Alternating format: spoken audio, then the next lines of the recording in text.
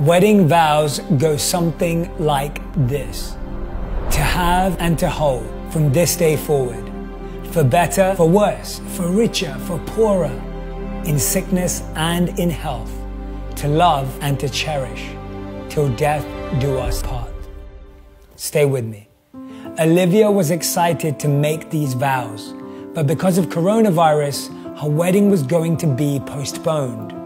She was upset disappointed, and felt like everything was going wrong. Olivia and her fiance really felt like this wasn't going anywhere. They were wondering how long they'd have to postpone their wedding for. Her fiance and her had put so much effort into planning their wedding with their loved ones, and it all seemed like it was over and crumbling away. Benjamin Franklin states, change is the only constant in life. One's ability to adapt to those changes will determine your success in life. Learning to deal with change is probably the most useful skill. Change is unavoidable. Everyone has to experience it, and it's consistently experienced.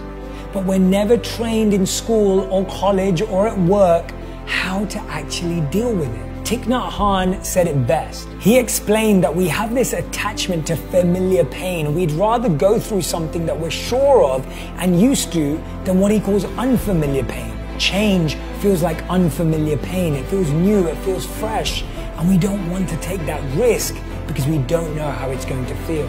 To some degree, we're all going through some grief at the moment. We've all lost something.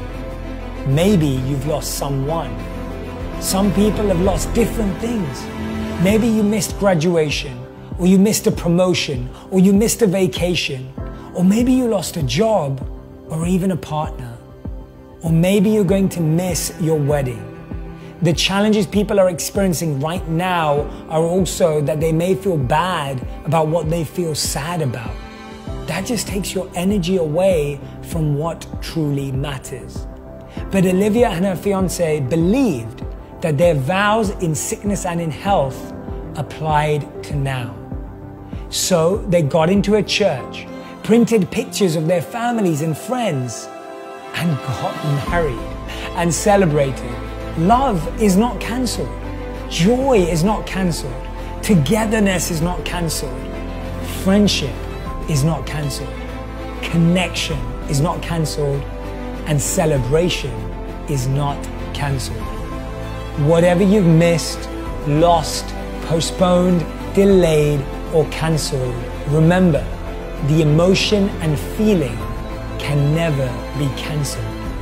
Celebrate that birthday. Celebrate that anniversary. Celebrate that wedding and that event in the best possible way you can. Don't stop celebrating because celebration is about energy, not about anything else.